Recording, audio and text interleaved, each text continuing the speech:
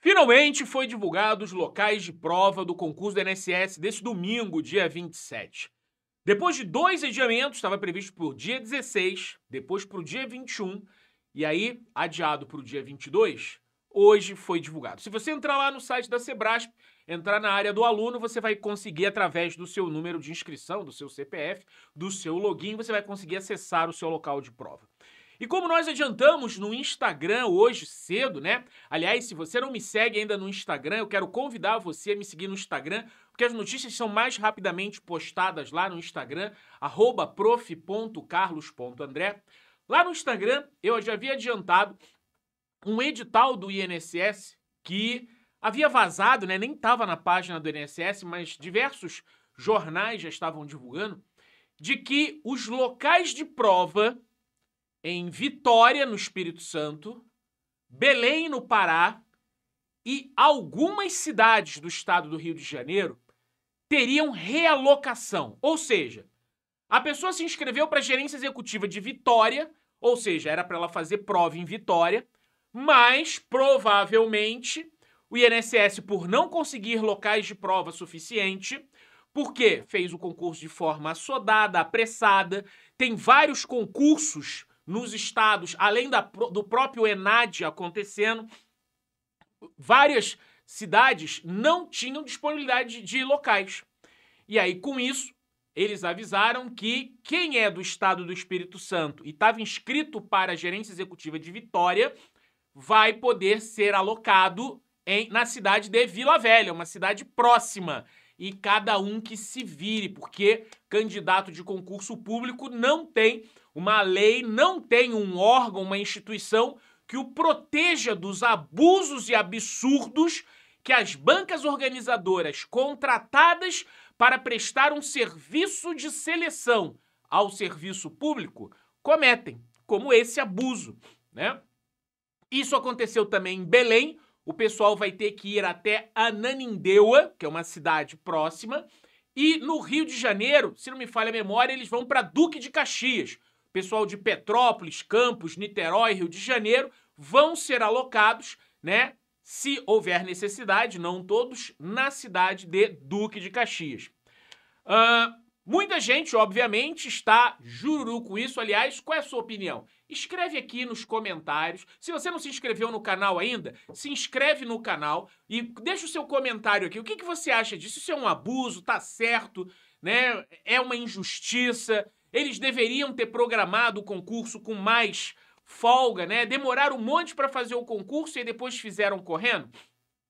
Mas o fato, senhoras e senhores, é que apesar é apesar de haver é, uma tremenda falta de consideração, uma injustiça e até os danos que isso vai causar a algumas pessoas em relação a deslocamento, Uber, hotel, né? Tudo isso daí, o fato é que não se vislumbra num primeiro momento uma ilegalidade. Muita gente já me procurou logo cedo falando que isso era ilegal e que isso causava prejuízo aos candidatos e queriam judicializar a questão. Ora, uh, toda ameaça de lesão é passível de análise pelo Poder Judiciário. É possível que alguém entre na justiça questionando isso? Possível é. Entretanto, eu conversei hoje pela manhã, eu participo de um grupo de advogados especializados em concurso público, né? E eu conversei especificamente com dois advogados, diretamente. O doutor Antônio Kozikoski, aqui de Curitiba, e o doutor Renan Freitas, né, de São Paulo. Conversei com eles sobre o assunto e eles me posicionaram de que eles entendem ser difícil conseguir né, alguma medida judicial que impeça a realização do concurso por causa desculpe, dessa alteração. Escreve saúde aí no, nos comentários. Por causa dessa situação. Inclusive, o doutor Renan Freitas relembrou que no concurso do, é, é, da OAB é comum haver essa realocação de cidades né?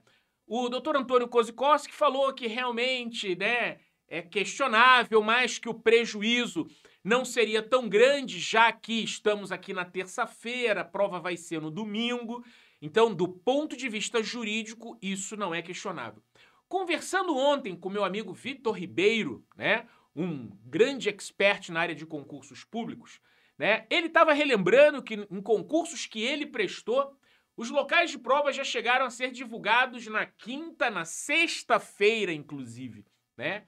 E que não é porque ia ser divulgado o local de prova só na terça-feira que isso ia dar problema. Mas, como nós tínhamos adiantado lá no lançamento do edital com a data, eles iam ter problema com locais de prova. Haja vista a quantidade de concursos e eventos que se aglomeraram nessa reta final de novembro e dezembro. Né? Então, tudo isso era previsível. A falta de uma legislação que proteja o servidor público, né? o candidato do concurso público, né? a falta de fiscalização de um serviço público, entenda, a banca ela é prestadora de um serviço público para o qual ela foi contratada pelo, pela entidade, pelo INSS, para fazer esse processo seletivo. E se fosse possível fazer uma avaliação, me diz aqui, qual seria a sua avaliação, né?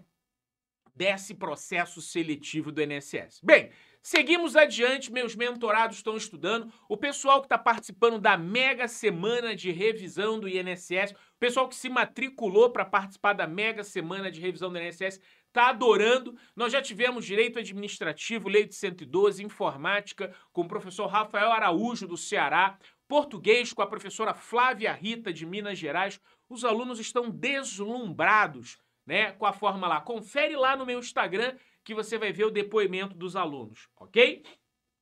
Então, o que nós vamos acontecer, olha só, coloca aí essa reportagem que você estava mostrando aí, estúdio, né? Que a quantidade de é, cidades em que o concurso vai ser realizado aumentou das 97 gerências executivas originais para mais de 100 municípios, tá? Especialmente, como eu disse para vocês, no Espírito Santo, que vai ter em Vila Velha, né? E no estado do Pará, que foi adicionado a Nanindeua, e no, no Rio de Janeiro, Nova Iguaçu.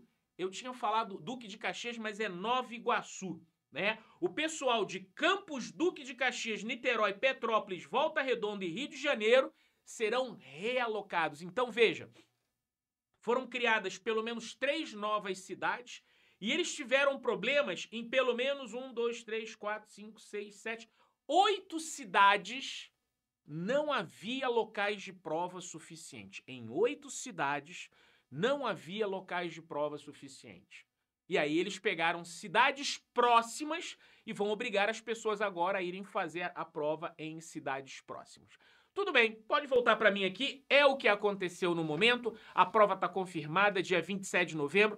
Quero dizer para vocês que nossa equipe fará comentário extraoficial do gabarito após a prova. Então você aqui que nos segue no Instagram, arroba prof.carlos.andré. Nós vamos transmitir ao vivo para o Instagram, vamos transmitir aqui também no YouTube. E para você que quer participar dessa correção direto comigo, né? Então eu vou te dar o meu WhatsApp. Ó, me chama no WhatsApp aqui para você receber informações sobre o gabarito, né, da prova do INSS no próprio domingo. 41 999692129. Me passa o seu telefone, o seu nome, a sua cidade, me diz que é do concurso do INSS, que eu vou salvar o seu contato para poder falar sobre o gabarito extraoficial, para poder falar sobre recursos quando sair o gabarito oficial e muitas outras informações sobre o concurso do INSS. E ó, já quero adiantar, depois do INSS,